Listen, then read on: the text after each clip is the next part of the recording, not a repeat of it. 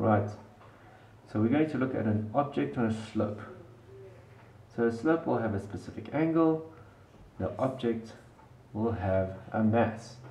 Now because it um, has a mass, we're going to start with something with no movement. Okay, gravity acts in the same direction, down.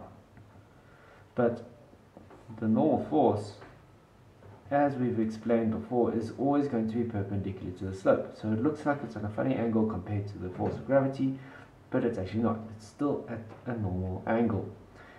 Force of friction will go up the slope, and because it is not moving, it is going to be a static frictional force. Okay, now let's have a look at breaking this down into a free body diagram. So as a free body diagram, we have the force of friction going up, we have the normal force going perpendicular to the slope, and we have the force of gravity going down. Now, the problem with this situation is that now none of these forces are acting in opposite directions to another. That means we have to break them into their components. It doesn't make sense to break Fs and Fn into a component that is um, in the same direction as Fg, rather break Fg into the components opposite of Fn and Fs.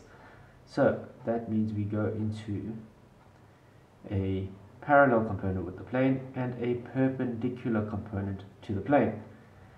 So therefore we call that Fg parallel and Fg perpendicular. Alright, now by completing this little quadrilateral, now we can say that this angle in the corner is equal to theta. I'm not going to go into the maths to prove that, but you can always ask when your teacher, if it comes down to it.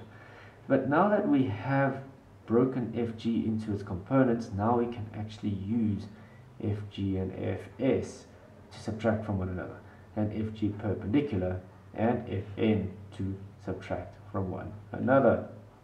Okay, now the main reason why we can do this is that remember the resultant force. Resultant force is, a, is one, a single force with the same effect as two other forces. We can do the opposite. We can take one force and break it down into the component of two different forces. So that means you can break it into these two and now they are acting opposite to one another. Okay, now what happens if we have an object which is moving down the slope, say it's slipping, well that just means that the force of gravity that is perpendicular, parallel to the slope, is greater than the force of friction, giving us Fk. And Fg perpendicular will always be equal to Fn in most cases due to the fact that it is not moving into the slope, it is just going down. So this is the force which in the end will make it go down the slope. Okay, that's about it.